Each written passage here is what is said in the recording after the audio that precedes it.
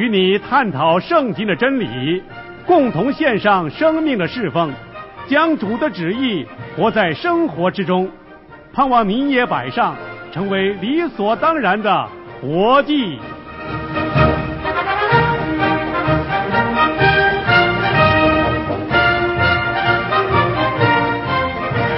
弟兄姐妹平安，又到了今天活祭的节目时间了，非常高兴，我们一起来研读神的话语，欢迎你的收听。最近以来，我们一直在探讨一个主题——中东的戏剧。那今天还是继续这个中东的戏剧的探讨。在过去的几天节目时间里头，我跟你分享过几个有关的事，我再简略的跟你温习一遍。第一，救赎是神戏剧当中主要的部分。那都是在中东这个舞台上上演的，而其中最具有意义的那几幕，这是在耶路撒冷和耶路撒冷周围的众山的一个小舞台上上演的。而这个小舞台呀，呃，直径大概只有八到九公里那么一块小小的地方。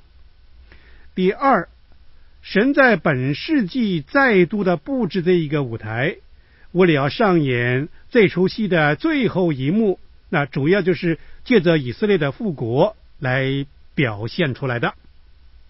第三，以色列复国是神向列国树立的大旗，吸引世界各国各族人民的注意，并且向列国要传达一个信息。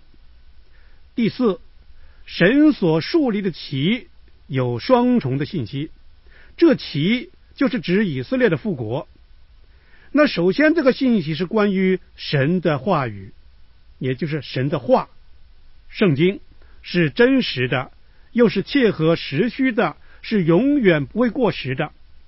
第二，它关于神的约，告诉我们神是守约的神，神特别守他与亚伯拉罕和他的子孙所立的约，给他们迦南地。作为永久的产业，那值得我们注意的是，是圣灵所漠视的圣经了，早就很详细而且准确的写下了本世纪在中东要发生的这一幕剧。以色列人的先知告诉我们不少生动而美丽的文字图画，让我们知道以色列怎么样在历史当中有复国的事情。好，今天呢，我要跟你来分享两幅图画。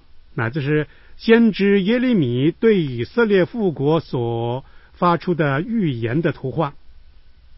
头一幅图画，耶利米让我们看见的图画是在耶利米书的第十六章十四节到十六节里面。那经文是这样说的：耶和华说，日子将到。人必不再指着那领以色列人从埃及地上来之永生的耶和华起誓，却要指着那领以色列人从北方之地，并赶他们到的各国上来之永生的耶和华起誓，并且我要领他们再入我从前赐给他们列祖之地。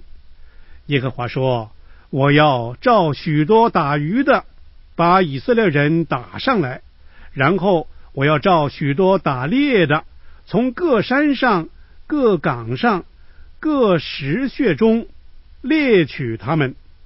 你看呢？神在这里预告将会有第二次的出埃及了。我们知道，以色列人第一次出埃及只是离开一个国家，就是埃及这个国家。他们是在一位伟大的领袖摩西的领导底下、带领底下离开了埃及的。在此后的三千五百年当中啊，以色列人无论是分散到什么地方，都会纪念这一年一度的节期的，那就是逾越节。他们把这一次的出埃及看为是历史上的一大壮举呀，而出埃及所带来的结果。是使得以色列人能够真正的成为一个国家。那然而，他们当中的一个先知耶利米却告诉我们一些很惊异的事情，说啊，是将来必会有第二次的出埃及。那比第一次的出埃及呢，就更具有戏剧性了。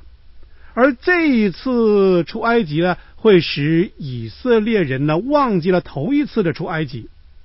这次所离开的不是埃及一个国家，而是世界，或者说全球。那这样的说法对犹太人来说啊，好像是不可能的，因为他们很难忘记这一年一度的逾越节啊。这个节日，所有的犹太人都会永远记住的。这是以色列历史当中一个最盛大的节期啊，是世世代代相传的。然而，他们的先知耶利米就是这样的告诉他们说：有另外一次的出埃及。掩盖和取代了头一次的出埃及，而这一次呢，是包括了全球性的神呢，要接他的子民从被放逐的各国各地各方，特别是北方。那北方指的是哪儿呢？啊，主要是指德国啦、波兰啦、苏联东欧啦。现在苏联已经没有了啊，是俄国了。啊，东欧是存在的，还有等等其他的各方，从这些地方释放出来，重新的归回到以色列的本土。那第二，耶利米指出了神会使用打鱼的和打猎的方法促成这一次的出埃及。那么我们来看看渔夫的特征，那就是用鱼饵去引诱鱼上钓，那然后我们就得到了鱼。但是猎人呢，则是令猎物感觉到惊慌，把他们呢啊赶出来，然后从背后啊来获取他们。我们可以把这些应用在现在的历史上，特别是德国从一九三零年到一九四五年的这一段期间当中啊，耶利米先知所描述的和预告的丝毫不差的，全数都应验了。谁是渔夫呢？就是当时西安的居民，一些住在巴勒斯坦地的犹太团体发起的。他们向德国的犹太人发出呼吁，又劝告在欧洲其他国家的同胞，对他们说：事情只会越来越糟糕，而不会好转的。不久将会有可怕的逼迫，因此他们必须要找机会回到自己的乡土以色列地方来。但是很可惜啊，德国和欧洲其他些国家的犹太人对到西安的渔夫并没有反应啊。那么他们忽略了这些人的警告，拒绝他们的邀请，所以神不得不用猎人了。猎人又是谁呢？那就是希特勒和他的亲信。他们所作所为，恰好就像耶利米所预言的。他们在各山上、各岗上、各洞穴里头猎取以色列人呢？这些并不是一些象征式的文字啊，那是真实的，如耶利米所描述的。耶利米这一番话呢，是在事情发生之前的二千多年讲的，这真是一个极大的神迹呀！我们怎么能够否认圣经不是由神的灵感动？而写成的呢？那现在我们看看耶利米所描绘的另外一个图画和一些文字了。我把它称为是陶匠制造器皿的比喻。在耶利米书的十八章第一节到六节，一到六节，圣经这样说：耶和华的话临到耶利米说：“你起来，下到窑匠的家里去。”我在那里，要是你听我的话，我就下到窑匠的家里去，正遇他转轮做器皿，窑匠用泥做的器皿，在他手中做坏了，他又用这泥另做别的器皿，窑匠看怎样好，就怎样做。耶和华的话就临到我说：“耶和华说，以色列家。”我待你们，岂不能照这窑匠弄泥吗？以色列家，泥在窑匠的手中怎样，你们在我的手中也怎样。好了，我希望你留意最后这一句：泥在窑匠的手中怎样，你们在我的手中也怎样。窑匠制作器皿的过程是这样的啊，他首先把一块松软的泥放在手中，然后就踩动踏板，使这个器具啊，或者说器皿啊，这个轮子啊开始转动。当轮子快速转动的时候，窑匠就手中拿着那块泥呀，又软又湿的泥呀，放在轮子上面，借着轮子转动而产生的压力，去制造成他心目当中想要的一种器皿。因此呢，那个原则就是在压力，就是用压力啊，去造就一些他想要得到的形态的器皿。神对以色列人说。起先，神是想磨造他们，可是做不成，器皿损坏了。然而，神并没有抛弃他们呢。神忍耐的说：“我会再磨造的，而这一次呢，我要造成我想要得到的器皿了。”耶利米不但讲出了这个原则，他更给了一个很特别的预告。他说：“以色列就是那器皿，而神就是窑匠。”头一次。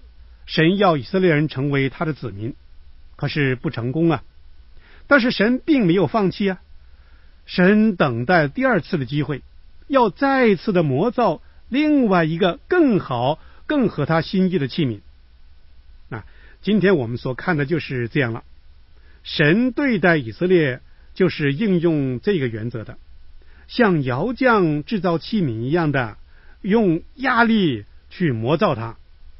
在过去的三四十年当中啊，以色列不断的受到种种的压力，经济上的、军事上的、心理上的、政治上的、灵性上的种种的打击啊。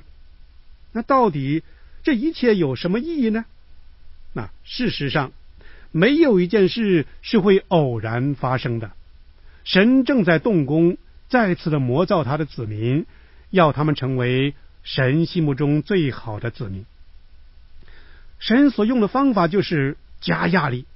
再没有别的国家像以色列那样，从立国到现在是连续不断的受到各方面的压力的。那最后，让我提醒所有属神的人，神其实不单是用这种方法去对待以色列，神更是用同样的方法。去对待他的每一个儿女，也就是说，对于在每一个属他的人，神要在我们的身上加上压力，使我们能够成为他所合用的器皿。这就是神在以色列人身上，在所有相信他的人身上，包括了你和我身上的一个美意。那今天的节目时间差不多了，在下次我们将继续来探讨。中东戏剧这个话题，下次节目时间我们再见了。愿神赐福给你。